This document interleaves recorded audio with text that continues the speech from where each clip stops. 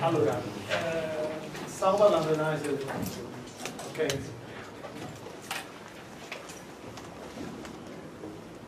Io vi faccio sempre il disegno così la cosa è sempre più chiara. Eh, abbiamo un certo nostro oggetto, un corpo, che, che a tempo t0 si trova nella configurazione c0 e al tempo attuale t si trova in una nuova configurazione che abbiamo chiamato C. Bene. Poi che abbiamo detto che se prendiamo un punto materiale, questo punto materiale nella configurazione C0 eh, occupava una certa posizione che era individuata da un vettore che abbiamo chiamato X. Bene. Lo stesso punto materiale al tempo t starà in una nuova posizione che è individuato da un vettore che chiamiamo y. Va bene? E abbiamo detto che c'è appunto una, questa, questa, questa, questo vettore y non è altro che una funzione che abbiamo, che l'abbiamo chiamata funzione cambiamento di configurazione e che naturalmente dipende da x e da. Bene? Quindi noi sappiamo che y sarà uguale a y di x e t. Bene. In realtà abbiamo anche detto che è possibile, almeno localmente, invertire questa funzione e trovare una funzione, come dire, inversa a questa. Eh? Supponiamo di poterlo fare, non solo localmente ma a livello globale, e quindi possiamo eh, scrivere una funzione x è uguale a x di y t, che è la funzione, come dire, inversa di quella. Vediamo come funzionano queste due funzioni. Ecco. E la prima ci dice, sei nella configurazione iniziale, bene, scegli un certo punto, dove finisce questo punto? In, quale posizione andrà a finire questo punto? Questo ci descrive questa funzione. Bene? Qual è la posizione attuale di un vettore che all'inizio dei tempi occupava una posizione x? L'altra funzione, cioè questa, eh, invece che cosa dice? Dice, stai in una certa posizione, questa, e vuoi sapere qual è il punto che in quell'istante di tempo sta passando per quella configurazione, per quella posizione. E lo trovi. È il punto che all'inizio dei tempi era individuato dal vettore x. Mi sono spiegato? Eh? Allora, questi due modi di rappresentare il cambiamento di configurazione si chiamano uno materiale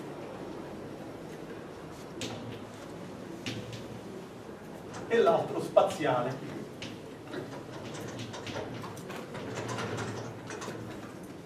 Bene. Quello materiale viene anche spesso, come dire, eh, denotato come sistema lagrangiano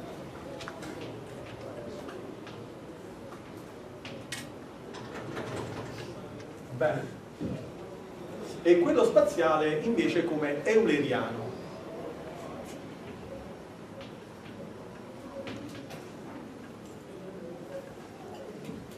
Il modo di rappresentare il cambiamento di configurazione di tipo materiale, ovvero lagrangiano, fu pensato, fu proposto da Eulero.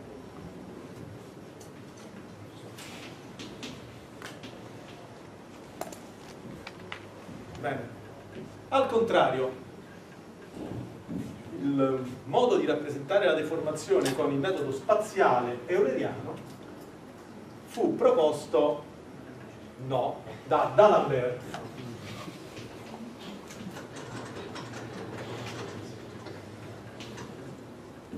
Bene. Allora, eh, anche su questo voglio spendere qualche parola in maniera tale che sia chiaro quello che, che stiamo facendo. Credo che eh, su questo modo di rappresentare il cambiamento di configurazione abbiate, abbiate voi avete capito cioè io ehm, ho questo corpo mettiamo che sia questo prendo un punto di questo corpo questo corpo si trova in questa configurazione al tempo 0 al tempo t si troverà in questa configurazione ma magari sarà anche stato deformato. E io so, descrivo durante il tempo il moto di un certo punto eh? questo è il moto di un certo punto ok? Eh, questo qui, il, dire, la rappresentazione tipo spaziale, invece è un po' diversa. Per cercare di farla capire, non intende io faccio così. Immaginiamo che andiamo tutti al fiume di Argari, va bene? E eh, guardiamo come una specie di macchina fotografica, inquadriamo una parte del letto del fiume Gari, una parte piccola del letto del fiume Gari. Ma a un certo punto su questa parte del letto del fiume Gari vediamo che sta passando, diciamo così, un sughero, ok? Eh? Una cosa che galleggia, diciamo così. E quindi in quella posizione y, a un certo tempo t, passa un oggetto, che è il mio punto materiale, il sughero. E mi domando, ma questo sughero al tempo t0 dove stava? Chiaro? Allora, questa rappresentazione qua mi eh, risponde a questa domanda. Mi dice dove stava il sughero che al tempo t sta passando per una certa posizione y. Chiaro? Eh? Questo è. Quindi non seguiamo il tracciato della, del sughero durante il tempo, ma ci domandiamo da dove sta avvenendo.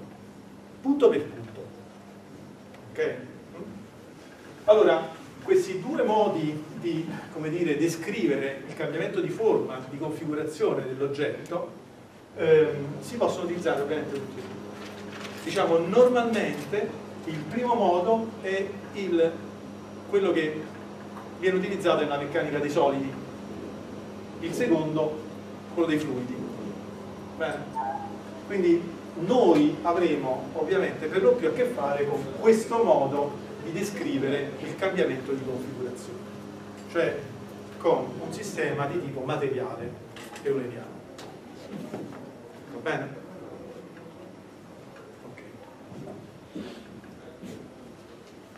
Va bene. Allora, scelto che sia il modo con il quale vogliamo descrivere il nostro cambiamento di configurazione, entriamo in qualche dettaglio in più, va bene? E in qualche dettaglio in più in cui vedremo eh, più precisamente eh, l'utilizzare eh, eh, l'idea che il cambiamento no, della forma del nostro oggetto, cioè la deformazione, è legata alla variazione di distanza tra i punti. Okay? Quello che avevamo detto all'inizio che è il modello di Coscino. Allora, eh, a questo punto io cancello questo e mi tengo le due figure.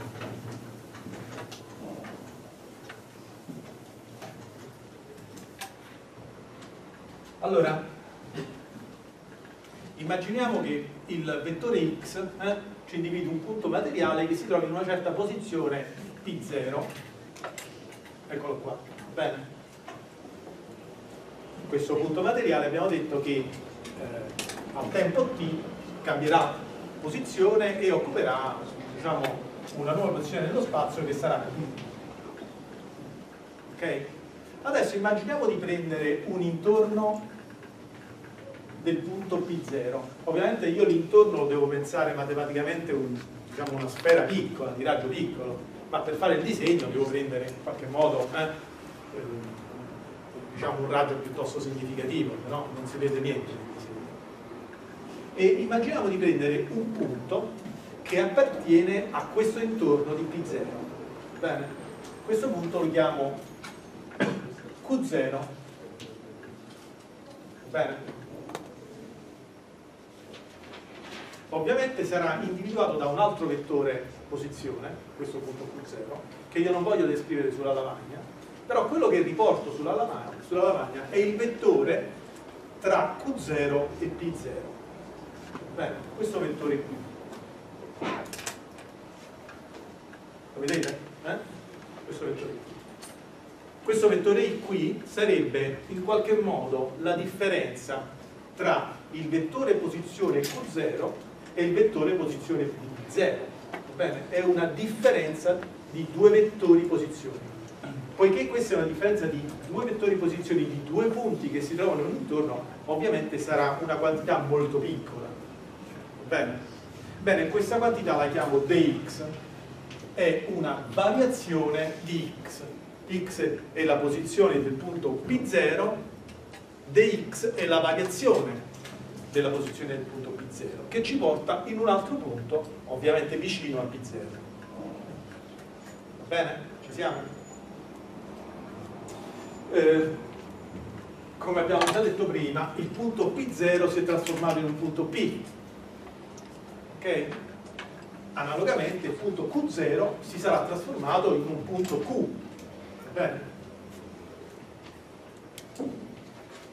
E invocando una eh, dei requisiti delle funzioni di trasformazione, cambiamento di configurazione y, che deve accadere? Che se Q0 apparteneva all'intorno di P0, Q deve appartenere all'intorno di P. Bene, quindi anche questa distanza deve essere la trasformata di questa distanza qua. di Va bene? E ovviamente noi possiamo introdurre lo spostamento del punto P0 U di P0 vedete? Eh? e lo spostamento del punto Q0 U di Q0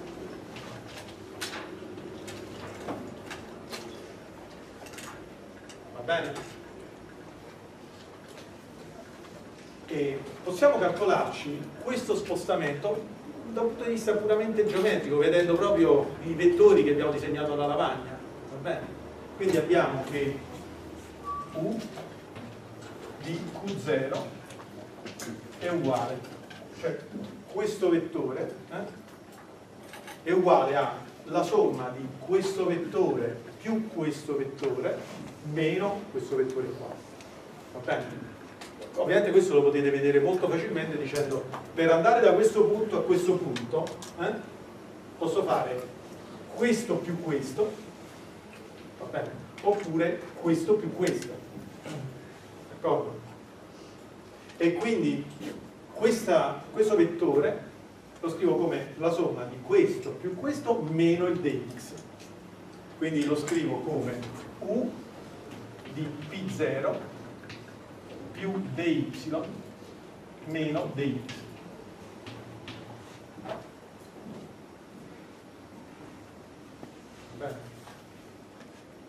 Allora, eh, qui possiamo fare immediatamente dei passaggi? Eh, questo u di p0 ce lo teniamo così, u di p0 più dy, allora guardate, dy era, da un punto di vista matematico, l'abbiamo già incontrato, era il differenziale della funzione y, l'abbiamo già incontrato il differenziale. E questo differenziale a che cosa è uguale? È uguale al gradiente per l'incremento. Ok? Quindi il gradiente, il gradiente di y è quello che abbiamo chiamato f, f maiuscola. Okay? Quindi questo dy altro non è che f dx meno dx ovviamente ok in altre parole ancora lo possiamo scrivere come u di b0 più f meno l'identità tutto quanto applicato a dx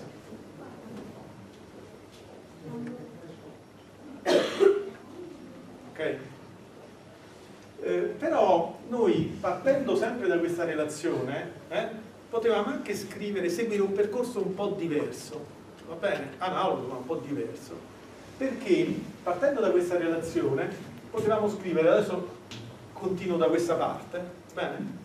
Potevamo scriverla come U, sempre di P0, meno, eh, meno più, scusatemi, D di y meno x. Perché? Perché l'operatore differenziale è un operatore lineare. Quindi la differenza dei differenziali è uguale al differenziale della differenza. Ci siamo? Eh? La derivata è un operatore lineare. Bene. Ci siamo? Ma y meno x l'abbiamo già introdotta prima. Che cos'è? È lo, lo spostamento. Quindi questa cosa altro non è che u di P0 più il VU, cioè il differenziale della funzione spostamento. Ancora una volta, quando abbiamo un differenziale, noi lo possiamo sempre vedere come il gradiente applicato all'incremento. E questa cosa la scriviamo così, è uguale a U di P0 più il gradiente di U è questo, va bene? Per dx. Eh, normalmente il gradiente di U si indica con H, con il, il simbolo H maiuscolo. Quindi questa qua diventa U di P0 più H dx. Bene. Da tutto questo, se noi guardiamo quello che abbiamo ricavato seguendo questi passaggi e quello che abbiamo ricavato seguendo questi altri passaggi, eh? ovviamente ricaviamo che f-i ed h ovviamente sono la stessa cosa quindi possiamo anche dire che h è uguale a f meno i va bene? d'accordo? Come prima abbiamo eh, scritto nelle componenti di una matrice eh, il valore della f, facciamo la stessa cosa per l'h, cioè prendiamo un sistema di riferimento e quindi abbiamo una matrice, bene, eh, prendiamo una matrice e vediamo come è fatta questa matrice. Bene? Allora, h come sarà fatta? Di nuovo h, che cosa sarà? È inutile che ve lo dico io, l'avete capito? Eh, perché è h, altro non è che il gradiente del vettore spostamenti. Il vettore spostamenti è un vettore di tre componenti, come al solito eh, gli spostamenti dipendono dalle tre coordinate x1, x2, x3 quindi quando andrò a fare il gradiente otterrò una matrice 3x3 va bene? Eh, la prima riga contiene le derivate parziali della prima componente di u quindi la prima riga contiene u con 1 derivato rispetto a 1 u con 1 derivato rispetto a 2 u con 1 derivato rispetto a 3 bene? le tre derivate parziali eh? Eh, della prima componente di U. La seconda riga contiene ovviamente le tre derivate parziali della seconda componente di U.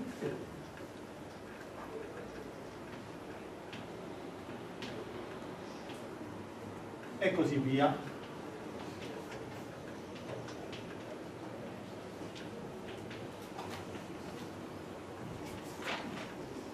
Bene? Eh? Ci siamo? Eh, scusatemi, io vi, vi, vi, voglio far capire come funzionano veramente le cose e vi voglio fare un passaggetto eh, assolutamente banale, però ve lo voglio comunque fare perché eh, quando uno fa queste operazioni tra vettori, matrici, è facile che si può poi confondere eh?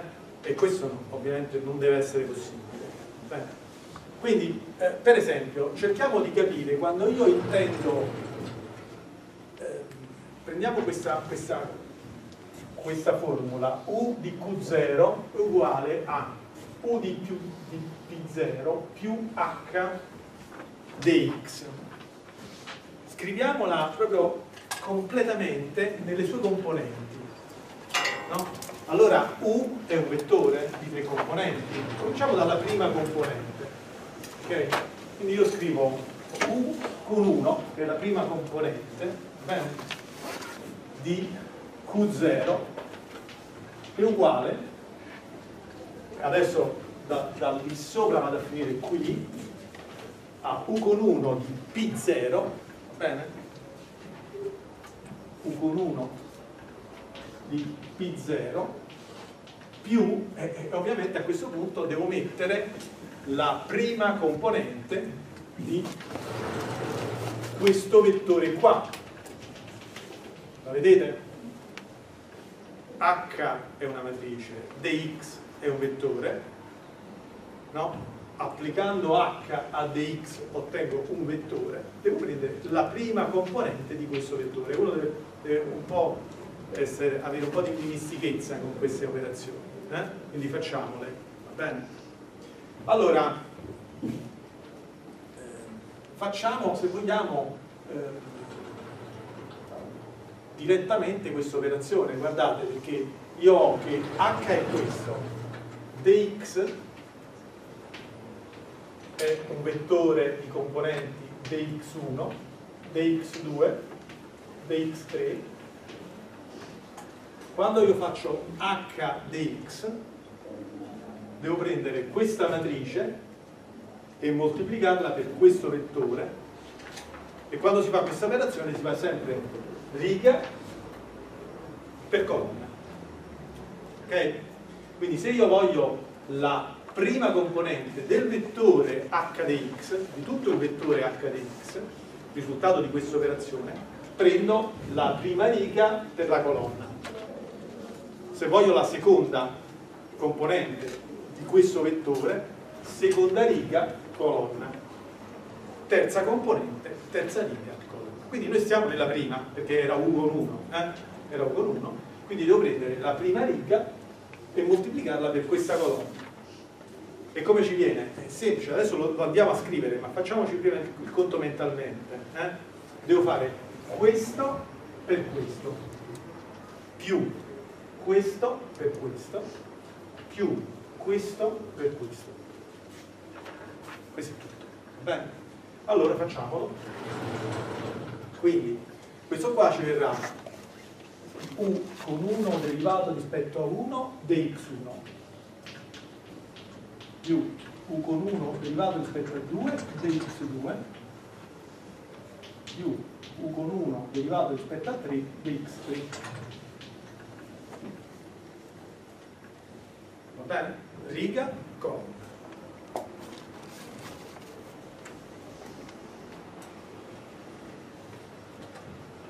eh, andiamo sulla seconda componente del vettore 1 va bene? quindi io scrivo u2 sempre di Q0 sarà uguale a U2 di P0 più e allora sempre devo guardare la definizione di questa matrice H e la definizione del vettore di X e fare riga per colonna prendendo a questo punto la seconda componente. Quindi devo prendere la seconda riga della colonna. Ok? E, e allora sarà U con 2 derivato rispetto a 1 di X1 più u con 2 derivato rispetto a 2 di x2 u con 2 derivato rispetto a 3 di x3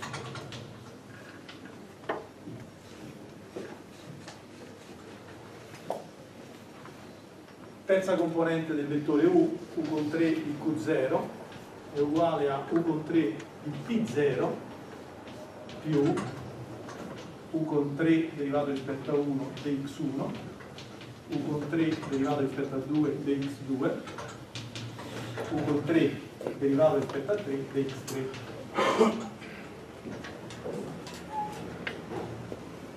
va bene? allora su questa operazione voglio fare un ulteriore passaggio perché poi a un certo punto faremo, cercheremo di fare delle operazioni piuttosto rapidamente senza portarci dietro queste formule così grandi e così anche noiose va bene? però uno deve, deve, deve pensare quello che sta facendo, deve, deve avere l'idea che aprendo le formule che scriveremo in maniera piuttosto contratta, eh, eh, che significato hanno qualora le vogliamo espandere. Bene. Eh, bene, tutto questo eh, lo possiamo scrivere così, se volete. U con 1 di sempre P0 più qua c'è una, guardate, c'è una sommatoria, è una sommatoria di tre termini, vedete? e dove guardate qua c'è 1, qua c'è 1, qua c'è 2, qua c'è 2, qua c'è 3, qua c'è 3. Ok? Quindi questa cosa la potete scrivere così, U con 1,j dxj e davanti a questo dovete immaginare una sommatoria per j che va da 1 a 3 ok?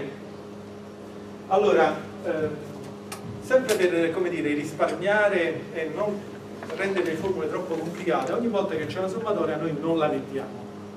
Però quando ci stanno gli indici ripetuti quando ci stanno questi indici vedete che j sta due volte è ripetuto si intende sommato nel suo rango.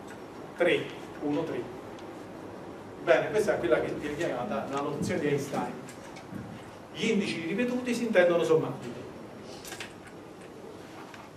eh, ovviamente anche le altre componenti le posso scrivere utilizzando lo stesso modo come dire contratto eh, di guardare queste formule cioè u con 2,j dxj e poi u con 3 di 0 u con 3,j dxj bene ovviamente allora noi possiamo dire ma se vogliamo la generica componente del vettore u a che cosa è uguale? La generica componente, cioè l'iesima componente, la scriviamo come u con i di q0, altro non è che la u con i di p0 più u con i virgola j di xj. Questa è una i. E così noi stiamo riscrivendo avendo fissato un sistema di riferimento, in componenti questa espressione qua che invece aveva una notazione di tipo assoluta, cioè vettoriale matriciale, tensoriale. Va bene? E devo dirvi la verità, quando poi uno deve fare veramente i calcoli, deve fare il calcolo di una certa cosa e deve andare a finire qui, deve farlo. Eh? ovviamente non gli può bastare quello di scrivere l'istruzione internale va bene? lo vedremo poi d'accordo?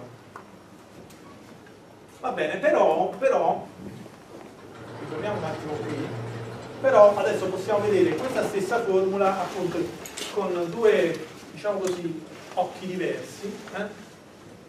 u di q0 è uguale a questo bene? non ci sono indici, notazione assoluta oppure la U di Q0 uguale a quella dove ci sono tutti gli indici e dice quello che effettivamente dobbiamo fare per ottenerla. Va bene? Ok? Però in ogni caso che la vogliamo guardare in questo modo o la guardiamo in quell'altro modo, da un punto di vista, come dire, meccanico, possiamo capire una cosa. Che lo spostamento di questo punto qui, va bene? Ci è dato come somma di uno spostamento del, di tutto l'intorno, va bene? Più qualche altra cosa. Bene. Il primo termine, questo qua, rappresenta lo spostamento, fatemi dire a questo punto, rigido dell'intorno. Cioè, io ho un certo intorno del punto P0, subirà uno spostamento rigido, va bene? D'accordo? E andrà a finire in questa nuova posizione dell'intorno. Poi, oltre a questo spostamento rigido, c'è un'altra parte della formula, l'h di che dovrà contenere tutti i termini che dovranno tener conto dell'eventuale rotazione di questo intorno rigido e anche del cambiamento di forma dell'intorno. dell'intorno. Chiaro? Quindi noi possiamo appunto guardare questa formula e interpretarla da un punto di vista meccanica dicendo io ho il mio intorno nella configurazione deformata subirà prima uno spostamento rigido poi dovrà subire qualche altra cosa e tutto il qualche altra cosa è tutto contenuto in questa parte qua della formula nell'hdx e che cosa ci sarà in tutta quest'altra cosa? E, ovviamente ci sarà l'effetto di rotazione ancora magari rigida eh, dell'intorno e il cambiamento della forma dell'intorno. È chiaro? Eh? Il cambiamento di forma dell'intorno. Quindi se noi vogliamo capire come si sta deformando, come sta cambiando la forma tutto il nostro oggetto, quello che dobbiamo fare è andare a studiare questo termine qui, questo HDX. È in HDX che è nascosta dentro il cambiamento della forma dell'oggetto. È lì che dobbiamo studiare e capire che sta succedendo. Mi sono spiegato? Bene. Eh, la prima cosa che possiamo fare è questa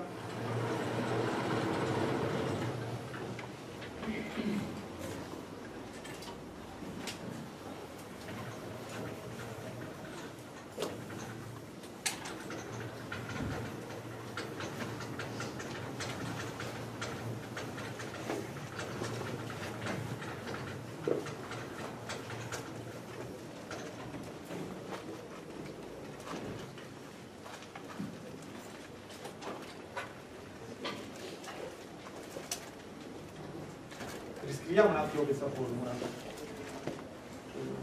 Sì, forse posso anche, posso anche in realtà calcolare tutto quello che sta qui, tanto quello che ci serve è solo questa formula scritta così. Cancelliamo questo.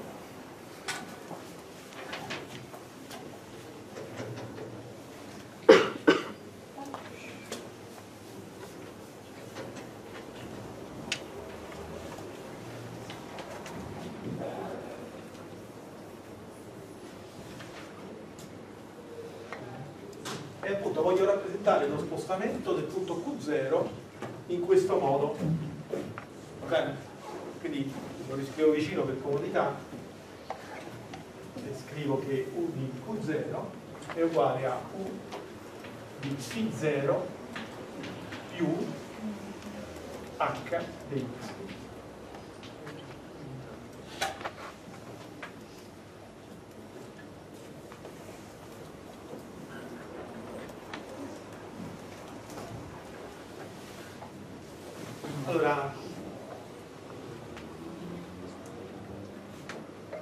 il gradiente di spostamenti.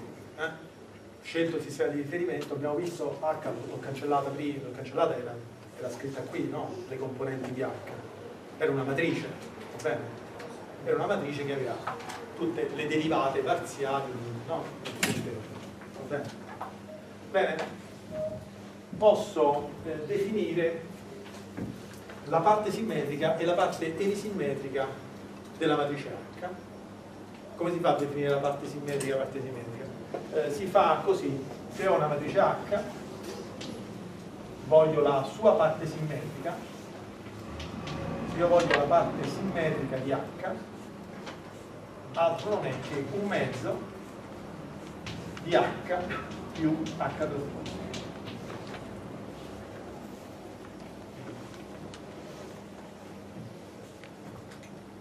Se voglio la parte enesimmetrica,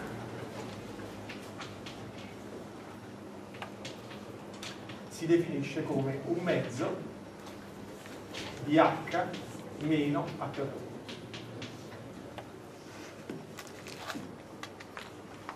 Bene. Eh, la parte simmetrica la indico con epsilon, la parte emisimmetrica la indico con W, V con W. Bene. Eh, che significa che eh, questa è la parte simmetrica di H, che epsilon deve essere simmetrico. Bene. Quando è che epsilon è simmetrico? Quando deve accadere che epsilon è uguale a epsilon trasposto, deve accadere questo. Allora è simmetrico ovvero se vogliamo scriverlo in componenti che eh, epsilon ij è uguale ad epsilon ji bene che significa invece che h eh, che w eh, sia la parte emisimmetrica di, di h che significa? significa che w è uguale a meno W trasposto. Ovvero che WIJ è uguale a meno WJI. Bene, da un punto di vista proprio no, grafico rappresentativo, eh, una matrice simmetrica quando questo termine è uguale a questo, no? E così via, no? tutti i termini fuori diagonale sono uguali. Eh, nella matrice emisimmetrica accade che questo termine è uguale a meno questo termine qui, eh? è l'opposto. Allora, vediamo che effettivamente eh, questa operazione ci garantisca questa proprietà. La prima cosa che possiamo fare, no? Ci siete? Cioè, che se io faccio un mezzo di HPH trasposto, effettivamente mi viene una matrice simmetrica. Cioè, se io faccio il trasposto di questa matrice, mi viene la stessa matrice. E, e questo voglio dire, se volete, è banale, perché io dico, facciamo così, scrivo qui, epsilon trasposto è uguale a un pezzo di H più H trasposto, tutto quanto trasposto. Ok? Ci siete? E, ed è uguale a un mezzo di H trasposto più H trasposto trasposto. Il trasposto è stato un'altra volta H ma ovviamente nell'addizione delle matrici non ha importanza l'ordine eh? e quindi questo è uguale a un mezzo di h più h trasposto e quindi è uguale a 1 e quindi voglio dire facendo così abbiamo ottenuto una matrice numerica sicuramente ok? vediamo se la seconda è una matrice simmetrica, cioè se noi facciamo il trasposto di questo e ne cambiamo il segno, ci viene W un'altra volta. Allora facciamolo, si vede facilmente che così meno W trasposto è uguale. Allora parto naturalmente da questa definizione qua, va bene? E faccio un mezzo, ci metto il meno davanti, quindi qua ci vuole un meno e qua diventa un più, va bene? E poi meno h più h trasposto, tutto quanto di questo ne faccio il trasposto. Va bene?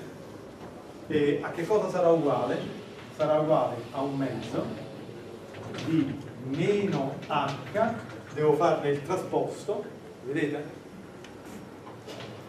Più h trasposto da sposto ci restituisce di nuovo l'h.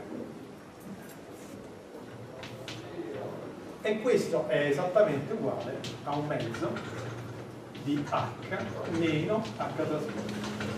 Cioè è esattamente quello che abbiamo definito W. Ok? Ovviamente ancora l'ultima cosa che dobbiamo verificare è che queste, la somma di queste due parti, queste due quantità, cioè la parte simmetrica e la parte disimmetrica, ci restituisca tutta H. No? Cioè io faccio la somma, no? Se io faccio epsilon più W, cioè la parte simmetrica di H più la parte emisimmetrica di H, ci restituisce tutta H? Domanda. Proviamo, vediamo. Bene, va bene. Ovviamente è abbastanza facile verificarlo, perché epsilon sarà un mezzo di H più H trasposto. W è un mezzo di H meno H trasposto.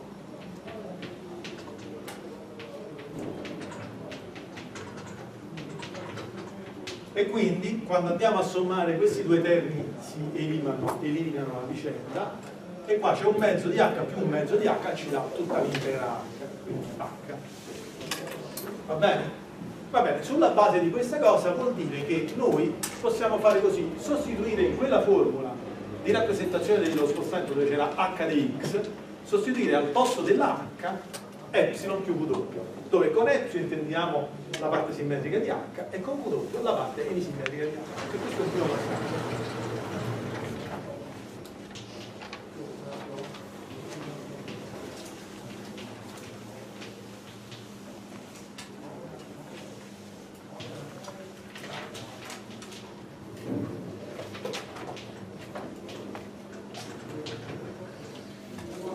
Allora, eh, questo modo di rappresentare il vettore di spostamenti del generico punto eh, dell'intorno di P0 è assolutamente generale, non, non, abbiamo fatto realmente nessuna ipotesi particolare.